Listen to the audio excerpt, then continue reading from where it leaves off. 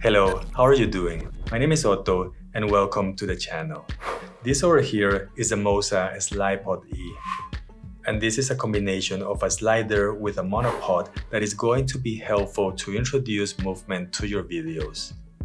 The Slypod E is a different type of slider where you have this main body and there is a barrel inside that will extend out at different speeds.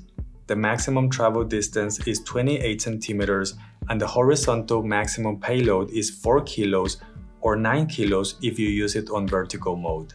Last week, I did talk about my GVM motorized slider and I like it quite a lot, but the Slypod has a few advantages over the slider that I really want to talk about on this video.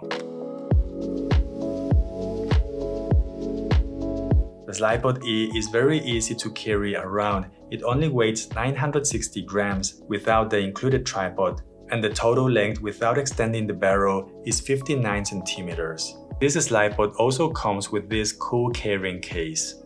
If we take a look at the GVM slider that I have, it is over 4 kilos and it has a length of 97 centimeters. This makes the Slypod way easier to take almost anywhere with you. The Slypod E is also very easy to set up. It has this Arca Swiss base right in the middle and a couple of thread holes if you want to mount it directly to a tripod. The GVM slider can provide very consistent and smooth results, but when I use a lens that has no optical stabilization, the video clips are not so smooth and you can see small micro jitters which can be fixed on post, but that is something that you need to consider if you want to buy this slider. The Slypod does a better job even if your lens or camera don't have any kind of stabilization and it was really surprising to see how smooth and stable the video clips are with the Slypod.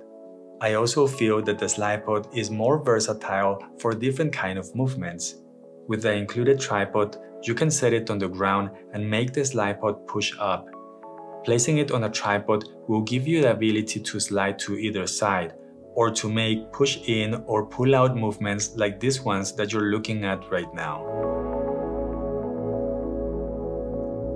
Top-down views are also easy to do with a Slypod. And other angles and combinations can be achieved if you have a fluid head on your tripod.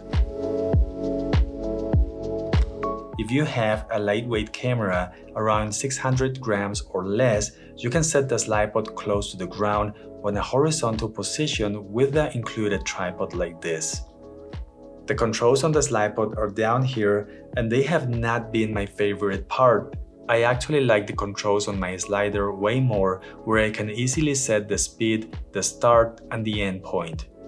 To control the Slypod, I feel that the smartphone app is the way to go. It's going to give you more control over the speed and you can start or stop the Slypod without touching it, which is great to avoid any vibration on the Slypod itself.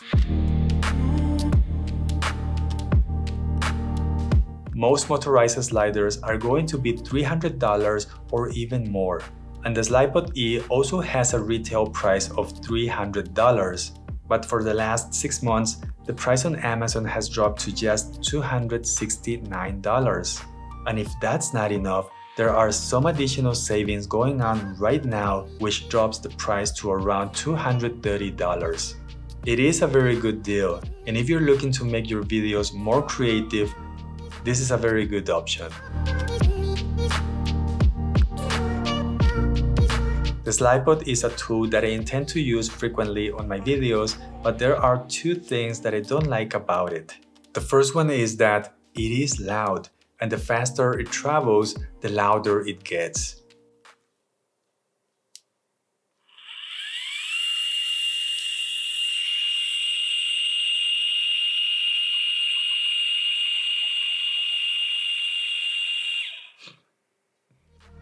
The second issue that I have with the Slypod is with the app. Well, the problem is not actually the app, it's the Bluetooth range that the Slypod has, which seems to be very short. Every time I walked away, the app would lose the connection. And when that happens, you need to manually reconnect the Slypod to the app. I think the maximum range to stay connected is about 2 meters or maybe less, and that's plenty enough if you're close to the Slypod, but it lacks the range if you're trying to make a video of yourself without any help. Moza also has an upgraded version of the Slypod called the Slypod Pro. It has a lot of improved features, it extends even more, but it's also more expensive than the Slypod E. Anyway, I will leave a link to these products on the description down below. Please don't forget to give this video a like and say something on the comment section. I hope you're having an amazing day and I hope to see you in the next video. Ciao!